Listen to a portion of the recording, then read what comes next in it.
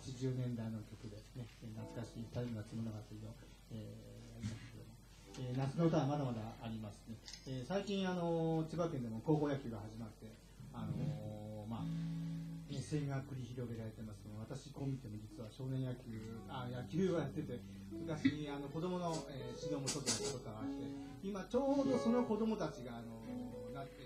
大会のプログラムに結構名前が載ってるんです。ですねでああこの学校のこの子は知ってるとか結構マーカーつけたぐらいにあのまあニヤニヤしながら家で見てるんですけどもその中の一人の子があの実は仙台育英高校にあの中学卒業していたんです。で結局あのピッチャーで行ったのにあの途中で肘壊してしまって今あのマネージャーをやってるんですけどそれでもあのこの間里帰りした時に